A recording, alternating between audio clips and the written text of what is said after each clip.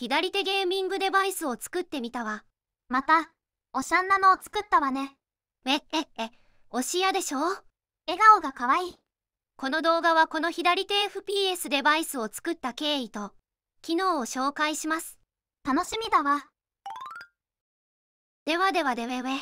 左手ゲーミングデバイスっつうのは何ぬねの？ということから説明するわね。お願いするわ。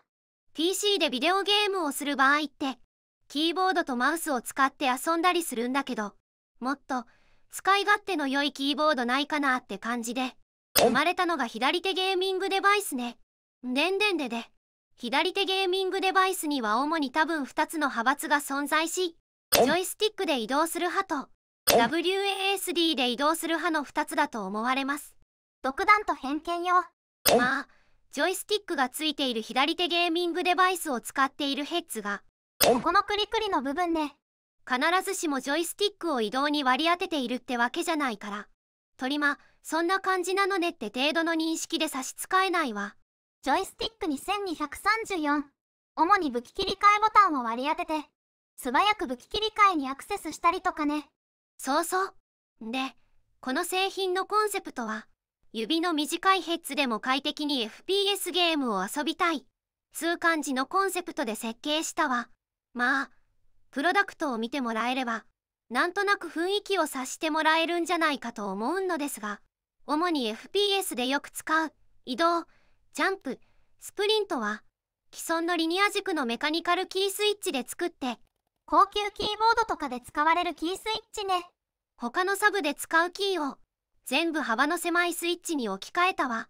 既存のメカニカルキースイッチの中央の幅が約 19mm なのに対して、他のキースイッチは約 13mm の大きさなので、ボタンの押しやすさは確保しつつ、中心にギュッと集めた設計ってことね。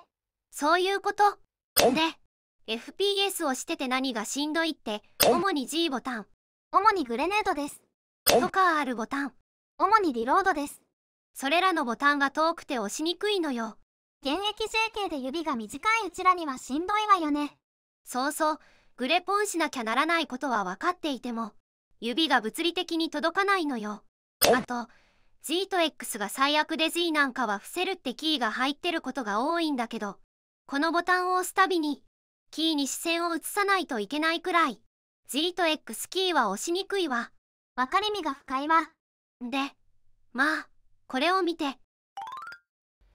意図的に G と X のキーのボタンを高めに作ることで、薬指と中指の腹でボタンを押せるようにしたわ。あなた、天才かしら？え、え、え、守りたい。この笑顔。いいでしょこの機能。控えめに言ってもるとベーネだと思うわ。で、親の敵の G なんだけど、スペースキーの両サイドにキーを追加して、デフォルトでは右に G、左にオルトキーが入っているわ。まあ、この辺りのキーマップは好きにいじれるので、本格 FPS でたまに使う左右リーン。こういうやつで、身体を傾けて覗き込みをする機能ね。そうそう、そういうやつよ。だいたい Q が左リーンで、E が右リーンが入っているんだけど、これがまあ、既存のキーボードだと、移動を諦めないとリーンできないんだけど、スペースの左右のボタンに左右リーンを入れたりしたりすれば、快適さが上がるんじゃないかと思うわ。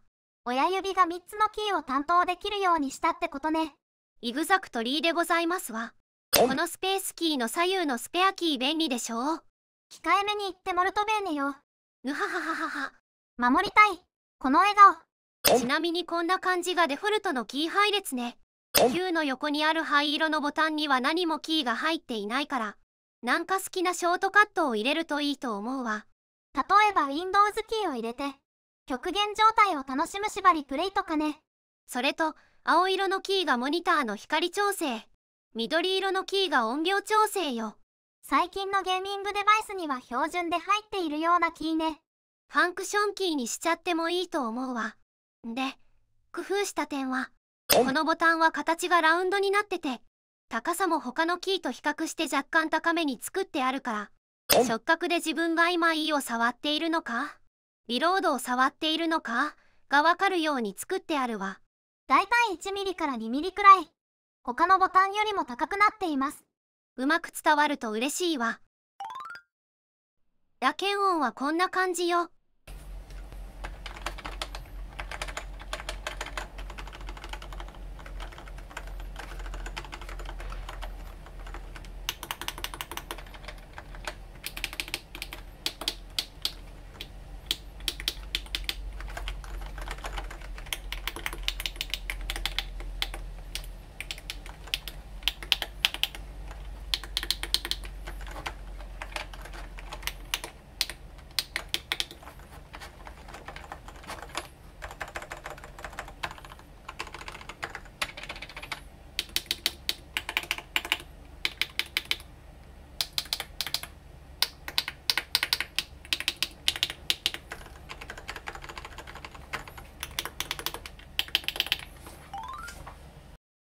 次にキー変更の解説をするわね。キー変更はまず、概要欄に記載した GitHub の URL に飛んで、VIA、JS-ON ファイルをダウンロードします。そうしたら次に、左手ゲーミングデバイスを接続した状態で、URL に記載してあるリマップのサイトに飛んで、キーボードをクリック、左手デバイスをクリックしてコネクト。先ほどダウンロードした JSON ファイルを選択。するとリマップが起動します。あとは変更したいキーを変更して、右上のフラッシュをクリックすればキーを変更できます。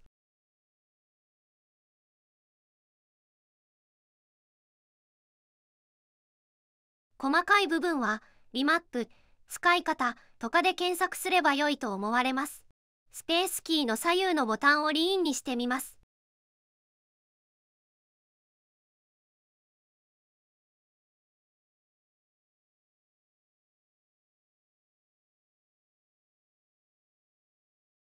こんな感じです。他にもレイヤーが3つあるので、ショートカットキーを入れたり、ワンクリックでアプリを起動させたりとか、好き勝手カスタマイズすることが可能です。